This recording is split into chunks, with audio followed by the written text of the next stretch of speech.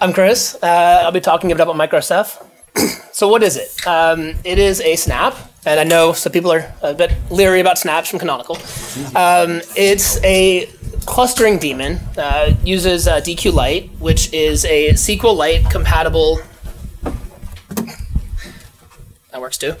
Uh, it's a SQLite compatible uh, database using Raft for consensus. Uh, that management daemon uh, allows us to build a cluster of arbitrary nodes. We then use it to manage the placement of all of the various Ceph daemons you guys are all aware of monitors, managers, OSDs, the metadata servers. Almost. podium, but he's over. Sorry, what was that? The, almost the uh, Rados gateways. It's in progress now. Um, it's really opinionated about what you put where. That's likely to change soon, but for now, it does what it does, and you get Ceph. Um, so why did we do that? Uh, a couple of different use cases. We really wanted to support a single node intro to Ceph. You can run this on your laptop.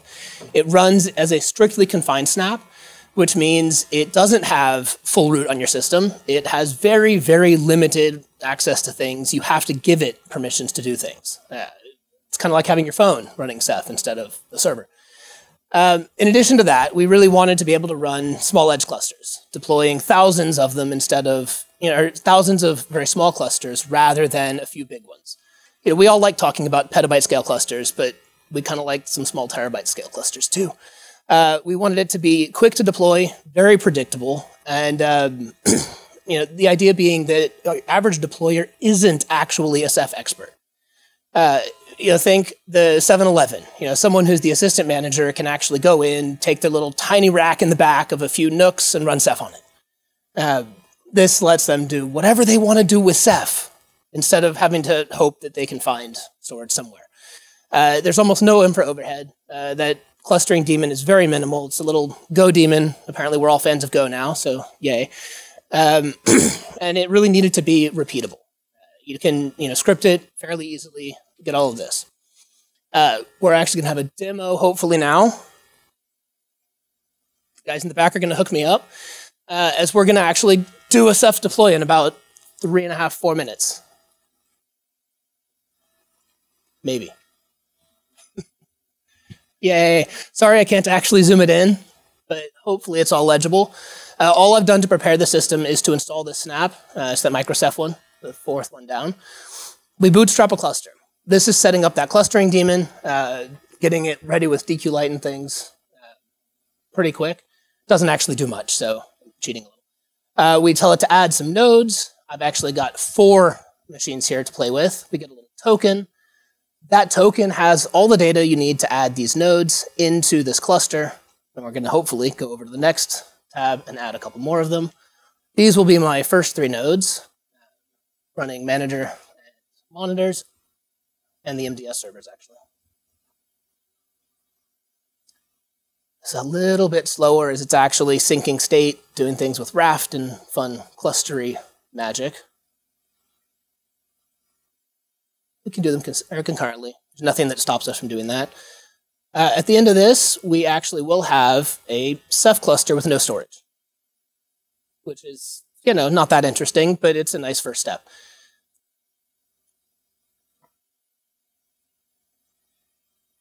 I do have this one set up to install the Rados Gateway. I mentioned it's in progress. There is actually code in place to do it. We're working on all being happy with it, you know, deciding that we like what it's doing and how it's doing it. Okay, so we can get our Ceph status. You might notice that microceph.ceph status, it is confined. You're not running this as you on the system. You're not running it as a Ceph user or root. But inside that confined space, you have your uh, monitor, managers, etc. But no disks. So let's add some disks. I did run into a slightly annoying bug that made me not want to do it concurrently in this demo. Sorry, it takes it a little bit longer, but we're going to get our one OSD showing up shortly. You might notice that the adding the disk doesn't actually add it into Ceph in a blocking fashion, which is exciting. Some of the, the clustering work is actually around um, letting us manage daemons and everything in a central fashion. So you could say, okay, add that OSD from that machine over there uh, you know, put a monitor over there, put a Rados gateway over there. So we actually should have shortly three OSDs up and in.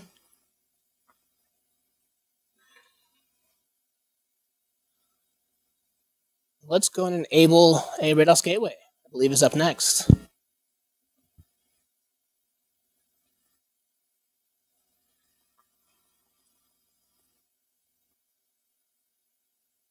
So this one will be fun. The next demo is actually playing with Rados Gateway just a little bit in a slightly smaller version, but the same concept. So you'll have you'll take this and be able to see from the other one a nice handing off point.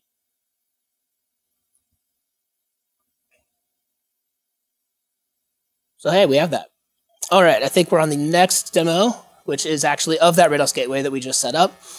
Again, pretty minimal setup, pretty quick and easy.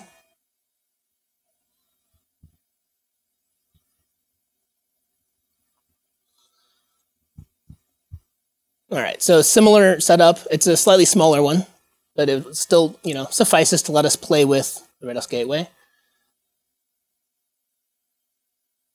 I did accelerate this one a little. I didn't feel like taking five minutes to demo uh, a little bit of S3 playing with. Um, so again, we have, you know, no data in there in the pools. We set up Rados Gateway. Uh, there's actually config on here to do um, the S3 commands. You can see that there's a Rados gateway running there on this node. It's not in a container or any of that. It's uh, bound by Linux namespacing, though, nonetheless. Okay, so we've uh, not got a user. We're going to add a user. I believe that's what we're doing next. And then creating a bucket and writing and reading an object. Slightly safer than a live demo, but unfortunately means a bit of waiting occasionally.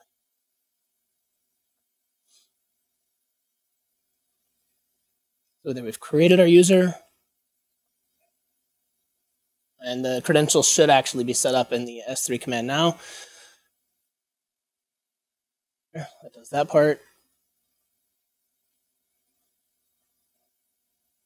All right, so we've uh, listed things, added a bucket. Oh, hey, the bucket exists now. Yay. Let's write to it and then read from it to make sure it actually works. Let that be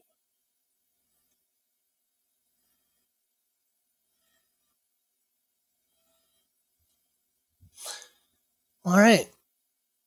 Okay, so what's next? Uh, before we're happy to call this anything like something you should play with, you can today, please do. Uh, we want automated encryption. Uh, so very easy, like seamless to a user encryption of the OSDs. Uh, you need to actually be able to configure your network instead of we tell you what to do. And we're going to be doing Ceph upgrades. So point releases and major upgrades in a very automated, easy to use fashion that does just work. It doesn't eat your data. Uh, it is very much a new thing. We've been working on it now for about six months. Uh, please try it out. Tell us what you think. Uh, tell us what doesn't work. Tell us what works. Uh, kind of all layers on feedback. Uh, how can you try it out? Microceph.com. It is on GitHub as well. Canonical slash Microceph. Questions?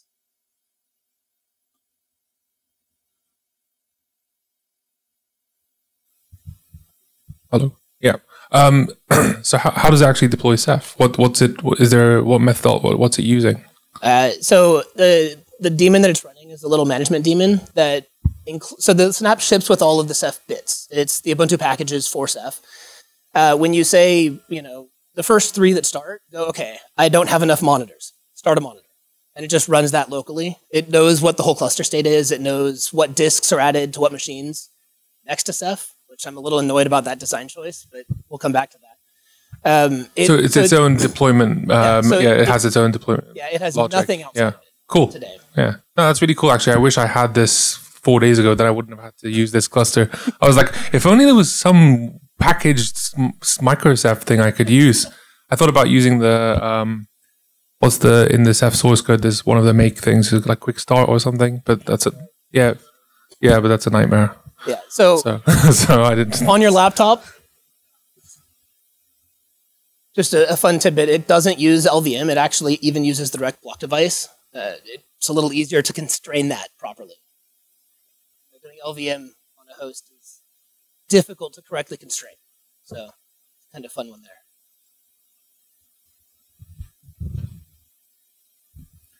Have you ever tried to create MicroCeph uh, deployments and then have them talk to each other? No.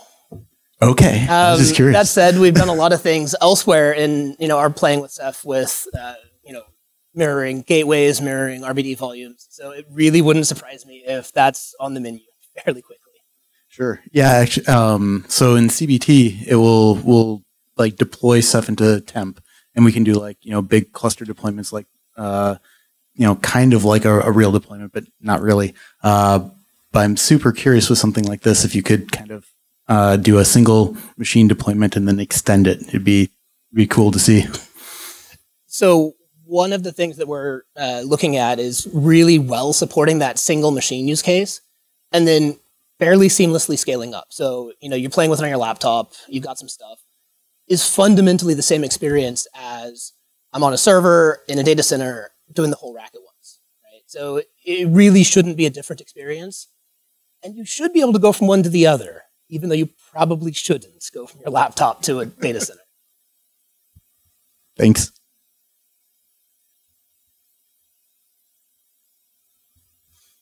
All right. Thank you, everyone.